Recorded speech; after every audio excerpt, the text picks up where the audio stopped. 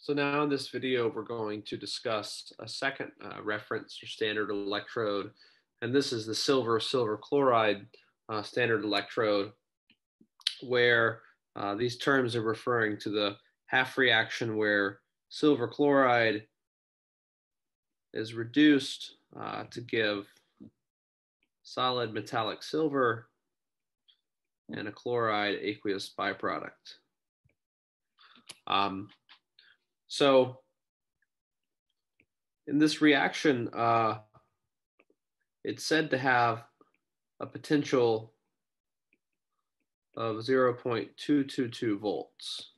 Uh, and that potential can be changed slightly uh, by changing the concentration of chloride, which we will talk about in a minute.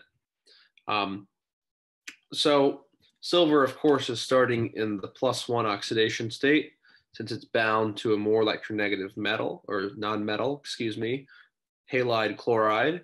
And chloride remains a negative one. Uh, it's inert here in the redox process.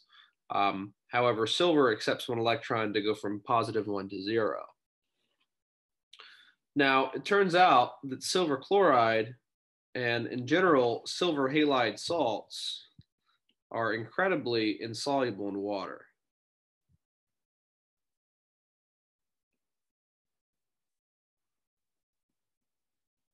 We'll find that that silver halide uh, will form a paste and remain on the surface of the metal electrode. It refuses to dissolve in water.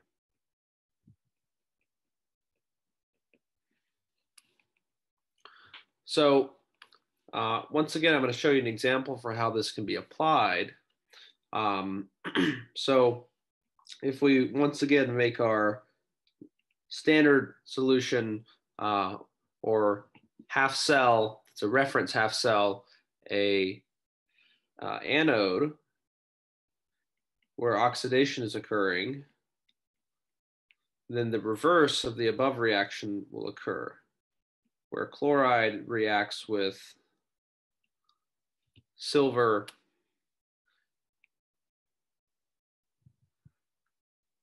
and those form silver chloride that gives a free electron as a product. So that's the oxidation uh, or the reverse of the reduction reaction written above.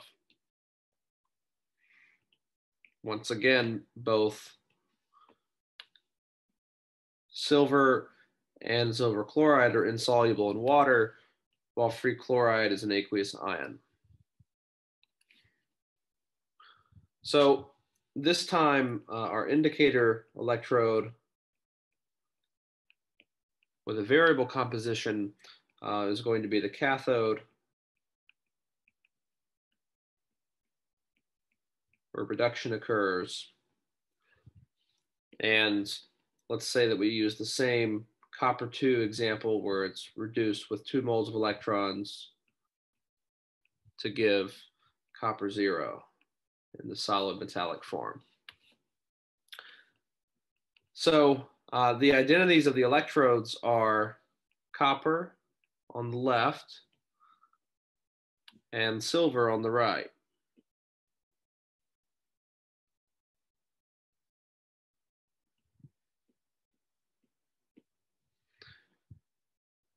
And as the reaction proceeds, uh, silver chloride is formed as a product, but that product is going to accumulate on the surface of the silver electrode.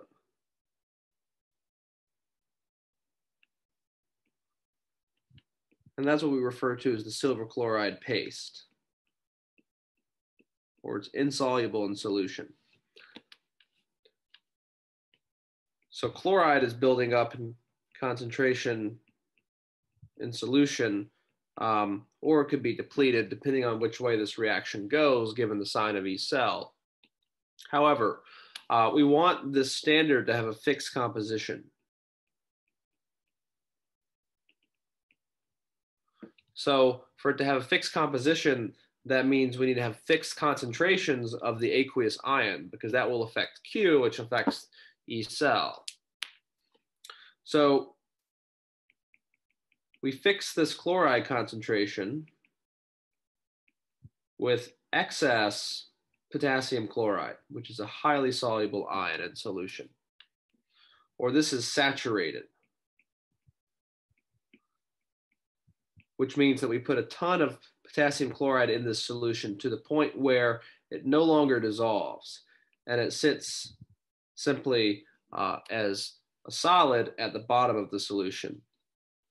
And any time that a chloride ion is consumed by the oxidation of silver to silver chloride, and we lose one of these chlorides from solution uh, to make the paste, then this chloride will dissociate from potassium uh, to regenerate that. So in other words, it will fix the concentration of chloride. And if it's fixed, when saturated, that changes the product uh, to reactant ratio such that the reduction potential or the standard reduction potential actually changes to become 0.197 volts, a little bit uh, lower of a reduction potential relative to um, the 0.222 volts. Now, it's ideal to use potassium chloride to fix this solution uh, simply because potassium and chloride are going to minimize what's called a junction potential. And we'll talk about the definition and the problems associated with a, a junction potential in a later video. Um, just know for now, that's the ideal salt to use. Once again, you'll connect the two with a wire and electrons will travel from the anode towards the cathode under standard conditions. Um, and the standard potential of this cell is the cathode or the reduction potential of copper, which is 0.34 relative to the standard hydrogen electrode.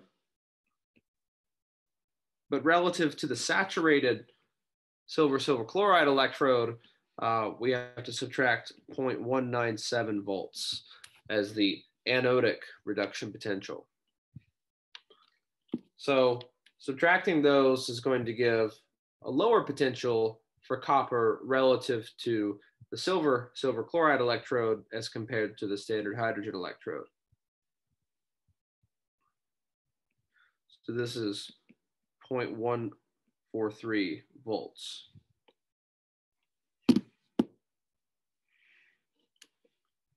So if you were to have an E cell reading of, let's say,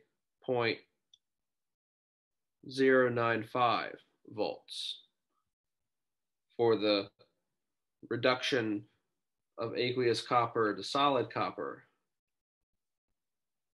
right? This is lower than the standard potential.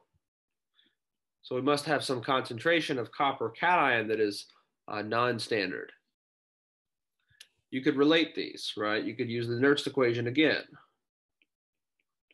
where you say the non-standard potential, 0.095, is equal to the standard potential, 0.314, minus 0.0592 over n multiplied by log of q. If n is known, then q can tell us something about the unknown concentration in the indicator solution. So keep in mind copper is reduced by two electrons, but silver only loses one upon oxidation. So we need to double this, two chlorides, two silver, two silver chlorides, and two electrons as products. So N is equal to two in the balanced reaction. And the expression for Q is going to neglect um, the solid products. And this is a mistake here. This silver chloride should be solid, right? That's the green paste that's building up along the silver surface right here. So both the products are neglected. And we simply have the aqueous reactants, chloride and copper. So Q is 1 over the copper concentration multiplied by the chloride concentration squared. But this chloride is fixed. with potassium chloride. And so you, then you can solve for this unknown solution and its composition or its concentration of copper 2 because all the other variables of this Nernst equation are satisfied. Once again, the final part, of course, is to maintain electroneutrality uh, or prevent charge buildup using a salt bridge. And that salt bridge allows anions that are highly soluble from their cation counterparts to migrate towards the anode while potassium ions uh, migrate towards the cathode. Other ions could be used potentially in the salt bridge. Okay. So uh, we have a slightly different standard voltage uh, compared to the silver silver chloride as opposed uh, to the standard hydrogen electrode. But the silver silver chloride can be used to measure an unknown concentration or to determine chemical identity in the cathodic solution, uh, similarly to how the standard hydrogen electrode was used. The setup is similar, the composition of the anode uh, here does differ. Okay, uh, so for more practice uh, with the silver silver chloride, uh, problem solving, voltaic cells, and potentiometry in general, you can visit either the unit 4 electrochemistry portion of my analytical course guide, or you can visit uh, the general chemistry unit in my, uh, or the electrochemistry unit in my general chemistry course guide, excuse me, both of which are available at chemguides.com.